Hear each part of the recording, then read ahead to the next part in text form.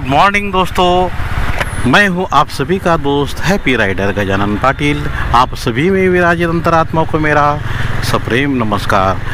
दोस्तों, आज हमें स्पेशल जगह पे जाना है। वो है महालक्ष्मी माता का मंदिर। जी हाँ हेदवड़े गाँव, जो विरार से थोड़ा आगे है, गुजरात हाईवे पर। हिरे गाँव की जो लक्ष्मी माता मंदिर है, वो लक्ष्मी माता मंदिर का वैशिष्ट्य ये है कि केवल शुक्रवार को ही खुला रहता है और नवरात्रि में नौ दिवस खुला रहता है। तो आज शुक्रवार है तो हम जाएँगे महालक्ष्मी मंदिर हेदौड़े गाँव। हमारी जर्नी अभी स्टार्ट हो चुकी है। This is Mira Bhayandar road यह है काशीमीरा जंक्शन। हमेशा की तरह यहाँ भारी भीड़ रहती है। भारी भीड़ है ही, क्योंकि सवेरे का टाइम है। सब लोग अपने नौकरी पेशा पर जाने के लिए तैयार है। यह कुछ ग्रुप है लेबर ग्रुप डेली वेजेस पर ये भाई लोग काम करते हैं। कोई भी कॉन्ट्रैक्टर को इनका मैन पावर चाहिए तो यहाँ से इनको लेके जाते हैं।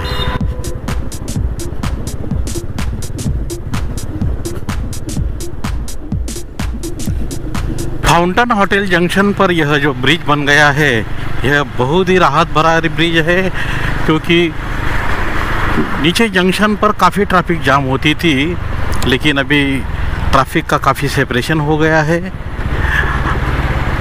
जो ट्रैफ़िक जाम लगता था नीचे। कभी कभी तो कई घंटों तक ट्रैफ़िक जाम लगता था। अभी उसमें काफ़ी राहत मिल गई है।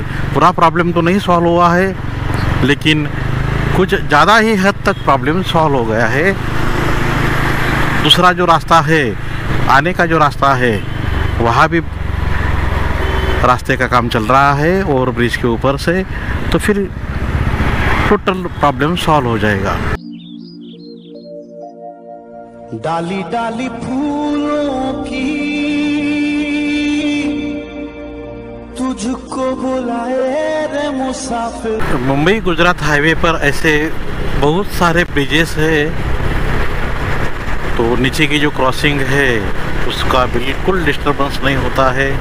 लोकल पर्सनस को ये तकलीफ़ नहीं होती है, जो लॉन्ग जर्नी वाले, जो व्हीकल्स के, उनके कारण। आज थोड़ा फोगी वातावरण है धुआँ धुआँ लगता है सब। ऐसे तो लगभग नौ बज गए हैं, लेकिन, ज़्यादा बादल होने के कारण अंधेरा अंधेरा सा लग रहा है। यहाँ से अभी हमें गुजरात हाईवे जो है, वहाँ से लेफ़्ट लेना है। मेन रोड अभी छोड़कर हम सर्विस रोड पर एंट्री कर रहे हैं।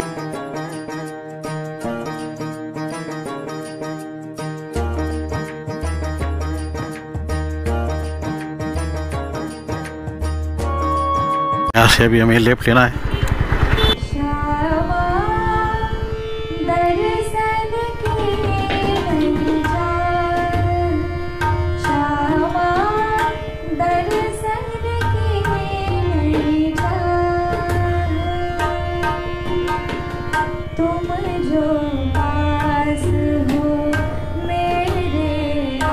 अभी ये लोकल विलेज है। छोटे गाँव से रास्ता जा रहा है।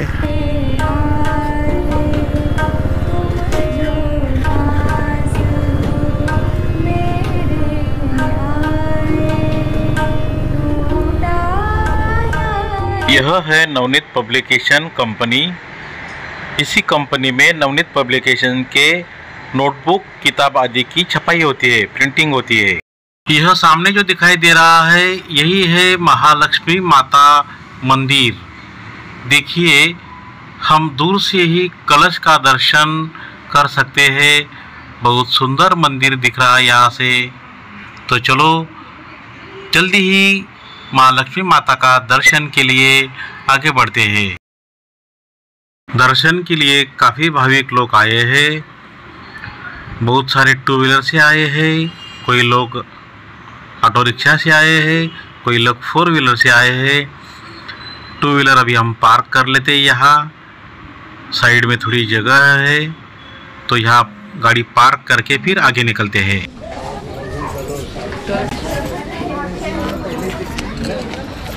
तुमचा फ़ोटो घेतो आगे आगे। क्या है? लक्ष्मी माते ओके। दर्शन के जाते समय यहाँ बहुत सारे फूल भंडार मिलते हैं। कमल का फूल महालक्ष्मी माता को विशेष प्रिय है। इसलिए हमने कमल का फूल ले लिया और यह स्टेप्स है आगे जाने के लिए।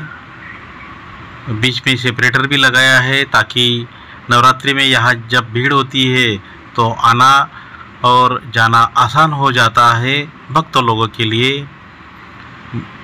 यहाँ एक सूचना लगाई है कि शुक्रवार को यह मंदिर केवल सवेरे साढ़े नौ बजे से शाम को छः बजे तक ही दर्शन के लिए खुला रहेगा। दर्शन के लिए आने वाले भक्त ध्यान रखें कि शुक्रवार को हमें सवेरे साढ़े नौ बजे से शाम को छः बजे तक ही दर्शन मिल सकता है। लेकिन नवरात्रि में नौ दिन यह मंदिर खुला रहता है। यहाँ आते ही देखिए शेषनाग भगवान की बढ़िया मूर्ति यहाँ दिखाई दे रही है।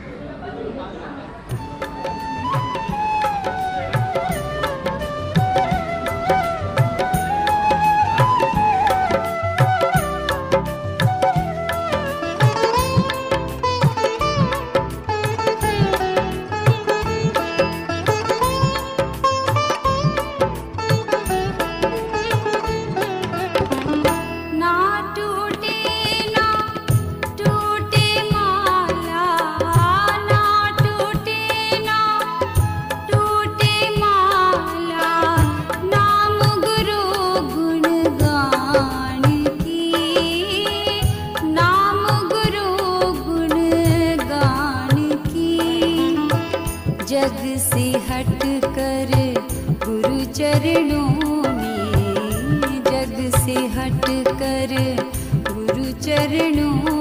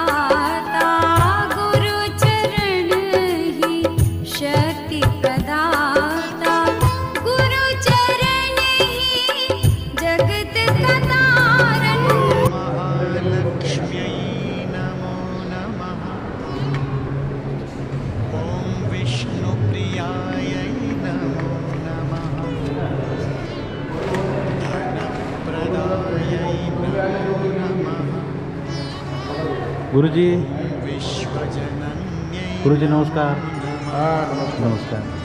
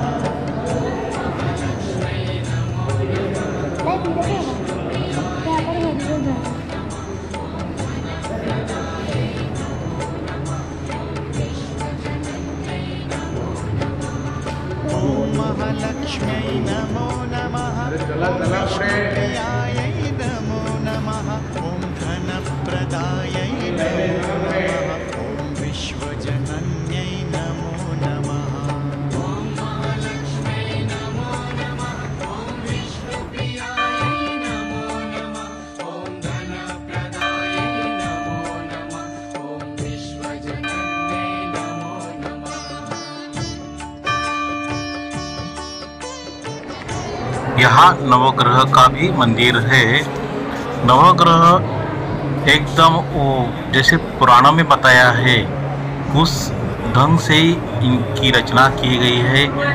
बीच में सूर्य भगवान है, उसके एग्जैक्ट बैक साइड में शनिदेव है, जैसी भी रचना विश्व में हुई है, वही रचना यहाँ प्रेजेंट की गई है।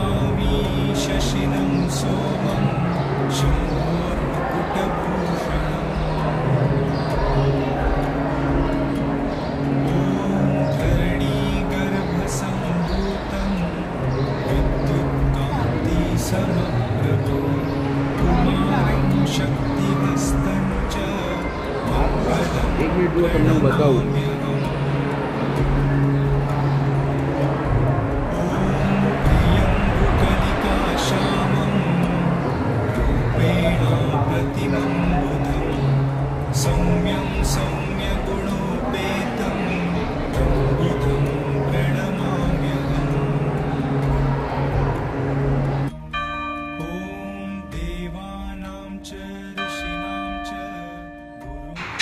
यहाँ इस सेक्शन में किचन है।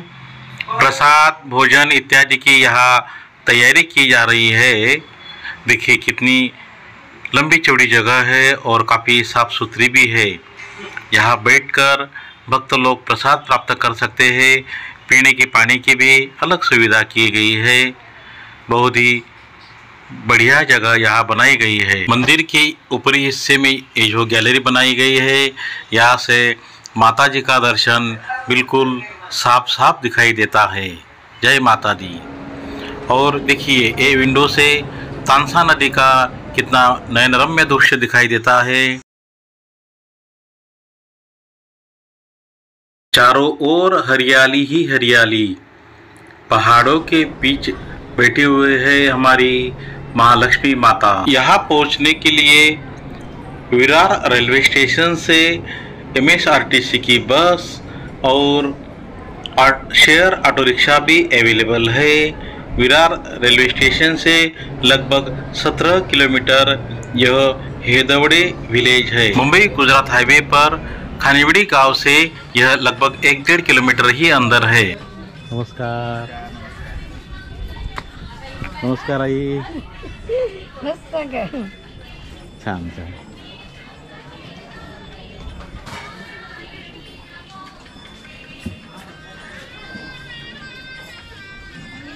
हॅपी रायडर गजानन पाटील नमस्कार ताई नमस्कार नमस्कार.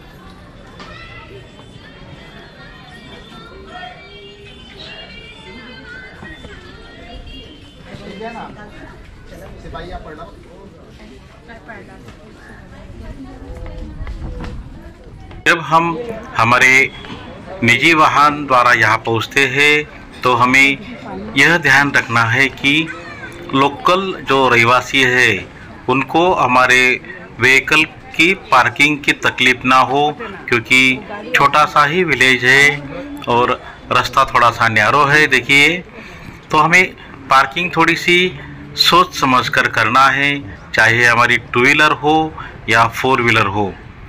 स्थानिक रहवासियों को बिल्कुल परेशानी नहीं होनी चाहिए।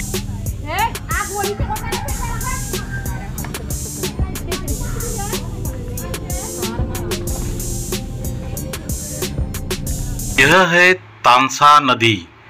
तानसा रिवर के किनारे ही यह हिदीवड़े गाँव है। देखिए, कितना प्रशस्त इसका पात्र है। इससे आगे यह नदी वैतरणा नदी को जाके मिलती है।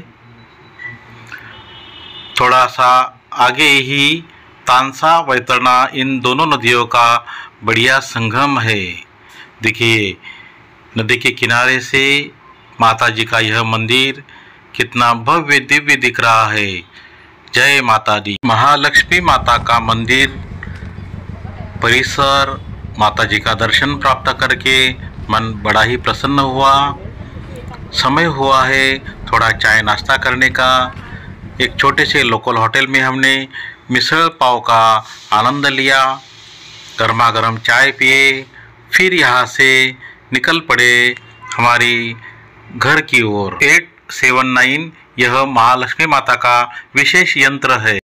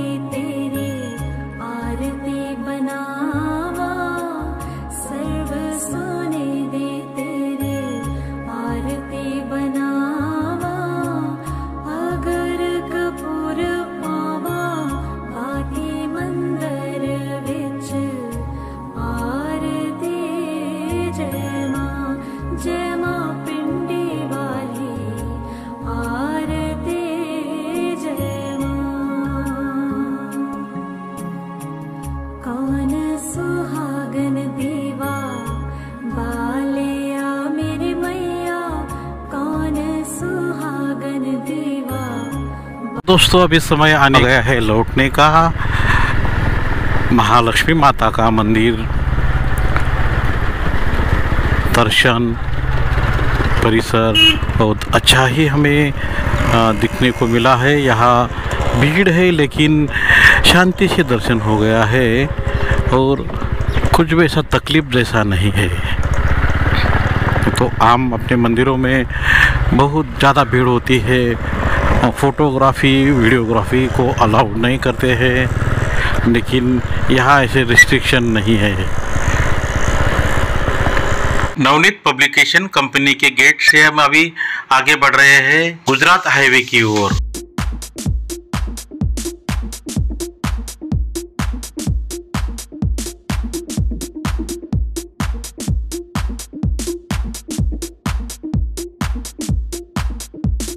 खानेवाड़ी गाँव में भी बढ़िया श्री राम मंदिर है। बहुत ही प्रशस्त और भव्य दिव्य मंदिर यहाँ है। यहाँ से अभी आगे हमें ब्रिज के नीचे से राइट टर्न लेना है। अभी हम तानसा नदी के ऊपर से ब्रिज के ऊपर से जा रहे हैं।